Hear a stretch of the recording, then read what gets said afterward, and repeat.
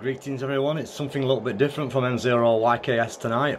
Hopefully we're going to receive some SSTV pictures from the space station and I'm running MMSS TV software and that's what I'm running there. We've got the uh, volume coming from the radio into the sound card of the computer.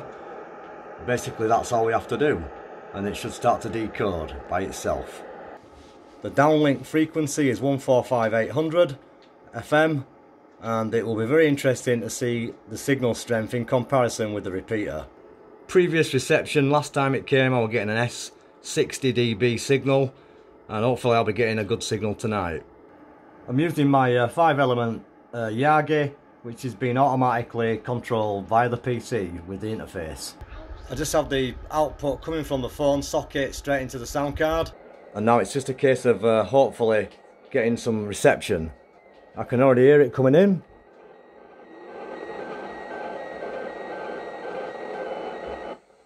So that was a previous transmission. So that signal's not very strong, it's usually better than that, I'll be truthful. So it's looking like they're using the same equipment as what they were using for the FM repeater because the signal strength is the same. Normally I get a bigger signal so I'm beginning to wonder if it's not going to be as good as usual. So we'll have to wait and see if we're going to retransmit the next picture. And we'll find out what the crack is with the signal strength. This is my first SSTV pass of the day. Just got in from work. And the local time is coming up to nearly 15 minutes past 7 in the evening. We've got a decent elevation so we should get a good signal but it's not looking so promising so far. So the ISS is well in range as it enters our area which is the United Kingdom obviously. So hopefully we'll get a bit better reception now.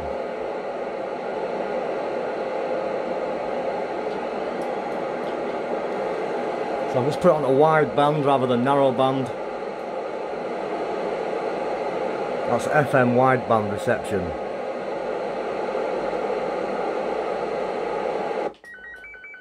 And yeah, that's much better.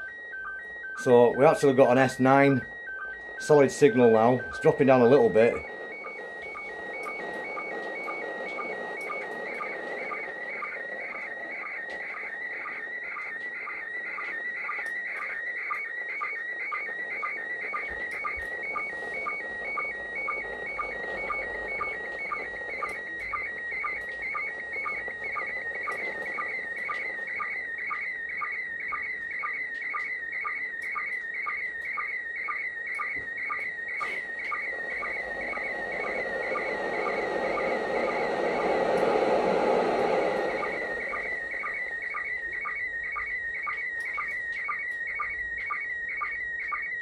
up at 52 53 degrees and climbing.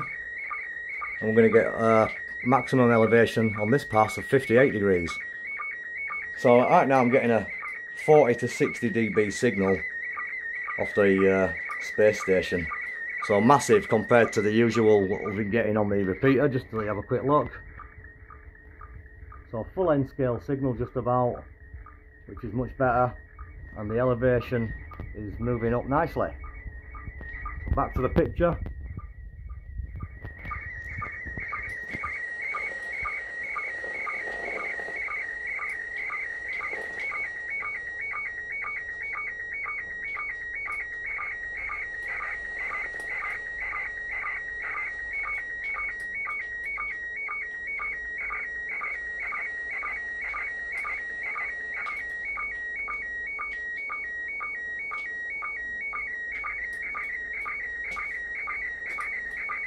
So this is celebrating the first expedition to the Salyut 7 space station back on the 13th of May to the 10th of December 1982.